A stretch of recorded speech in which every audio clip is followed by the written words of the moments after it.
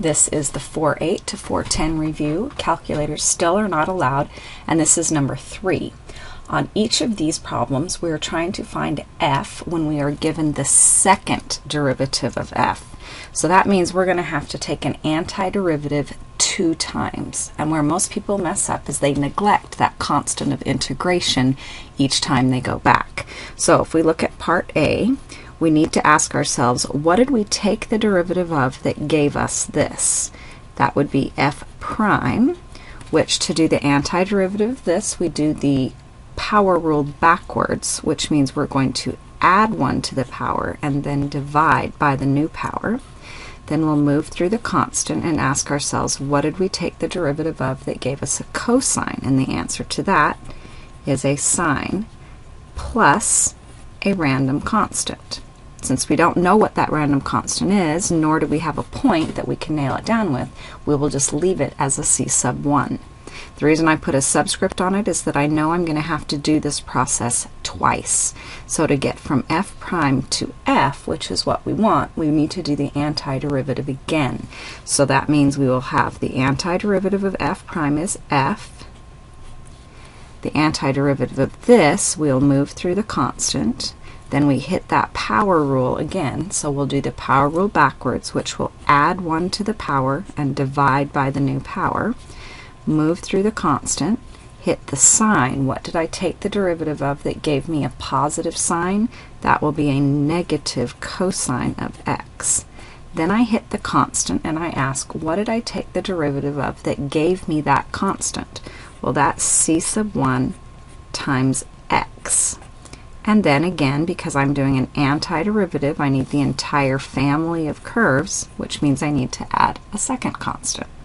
So now this, if I simplify, will end up being x to the sixth over 30 plus 3 cosine of x plus some random constant c sub 1 times x plus a c sub 2. And we're done with part A. If we want to do part B, let me write down my second derivative here, and I'm going to write it all as powers of x because it makes it easier to do that power rule backwards. So here's my part B. I now need to do that same process. I need to go backwards twice and ask myself, what did I take the derivative of that gave me this information? So antiderivative of f double prime is an f prime.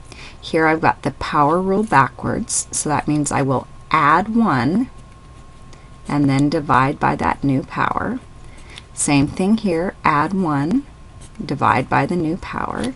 Here, move through the constant, add 1, divide by the new power, and then I ask, what did I take the derivative of that gave me sine? That would be a negative cosine and then I add a constant. Again, since I'm going to have to do the process twice, I will have a c sub 1 instead of just a regular c. Now I need to go backwards one more time to get the f that I'm asked for. Now this one gets a little tricky because if I add 1 to that power, I'm going to have a 0 and I can't divide by 0. So this is actually a negative 1 over x. And remember the antiderivative of 1 over x is a log natural of the absolute value of x. So because it was negative, there'll be a negative out in front. Here again I will add 1 to the power after I've moved through the constant and divide by the new power. Same thing here, I will add 1 to the power after I've moved through the constant and then divide by the new power. Here, what did I take the derivative of that gave me a cosine? That's a sine. What did I take the derivative of that gave me a c sub 1? That's a c sub 1 times x. And then I need to add my second constant of integration.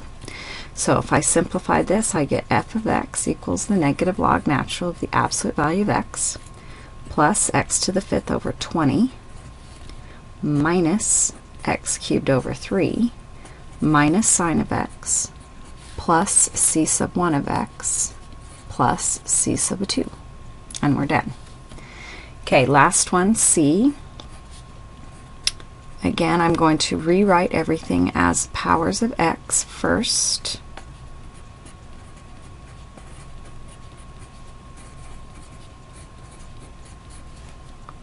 And then I'll do antiderivatives. So the antiderivative of f double prime is f prime. Move through the constant, hit the power and add 1, divide by the new power. Move through the constant, hit the power rule backwards, so I'll add 1, divide by the new power. What did I take the derivative of that gave me e to the x? Well, that's just e to the x. What did I take the derivative of that gave me a cosine? Well, that's the sine of the inside unchanged, and I need to divide by the derivative of the inside, and then add my constant. Antiderivative again, so that I can get to my f. I would move through the constant, hit the power and add 1, divide by the new power, move through the constant, hit the power, add 1, and divide by the new power. Antiderivative of e to the x is again e to the x. Move through the constant.